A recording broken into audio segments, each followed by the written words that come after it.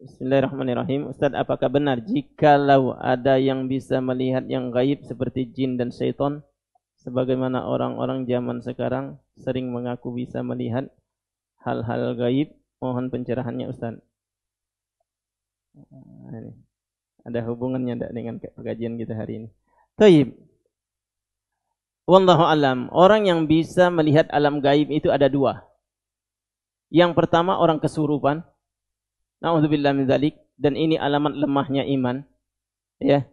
Oleh karena itu Rasulullah sallallahu alaihi wasallam membekali kita, memberikan kita apa nama resep-resep untuk membenteng kita dari ini, dari si kesurupan, disentuh jin dan lain sebagainya atau syaitan dengan apa?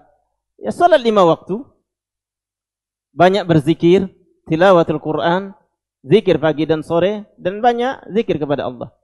Tandanya orang dimasuki setan, dia jauh dari zikir kepada Allah Subhanahu. Itu yang pertama. Yang kedua, mereka memang kongkolikong dengan setan. Mengambil sebab. Dan ini biasanya karangan paranormal dan para dukun, kahin.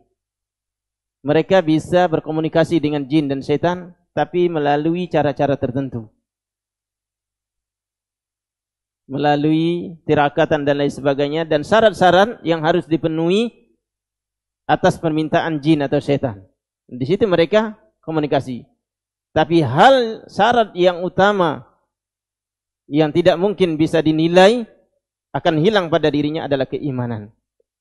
Apabila seorang melakukan kontak jin dengan cara seperti ini, memenuhi syarat-syarat jin, ciri-cirinya apabila seorang ini dianggap orang pintar, bisa mengobati, dia suka yang aneh-aneh.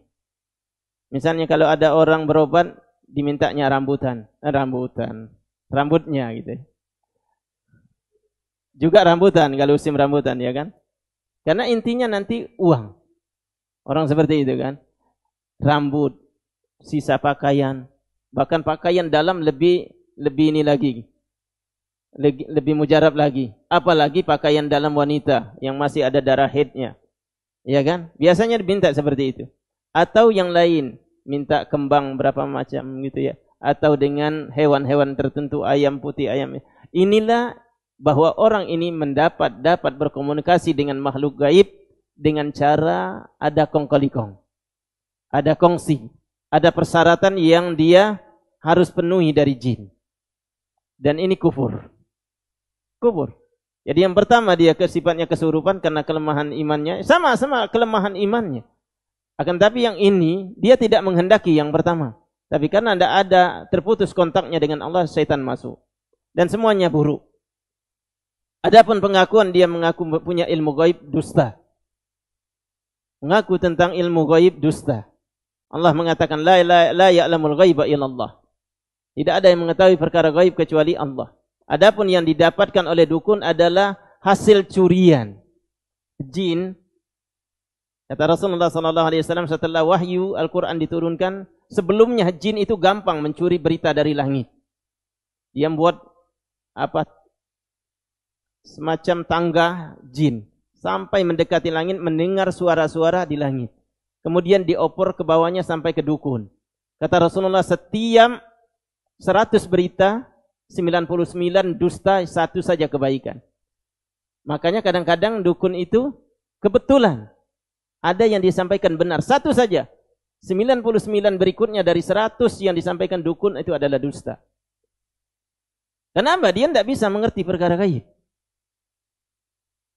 Illa man irtada minar rasul, kata Allah. Kecuali sebagian dari hamba Allah yang Allah redoin. Para nabi dan rasul, Allah wahyukan berita gaib. Itu melalui wahyu. Jadi wahyu apa namanya berita gaib amma dari jin atau dari wahyu. Nah, jin apabila dilakukan oleh para dukun ini adalah wasilah kekufuran. Dan dari yang yang sah, yang sahih sudah terputus, wahyu sudah terputus, rasul sudah diwafatkan dan tidak adalah nabi setelah Muhammad sallallahu alaihi wasallam. Barang siapa mengaku mampu membuka berita gaib, dia adalah dukun. Dan dukun adalah kufur. Nah.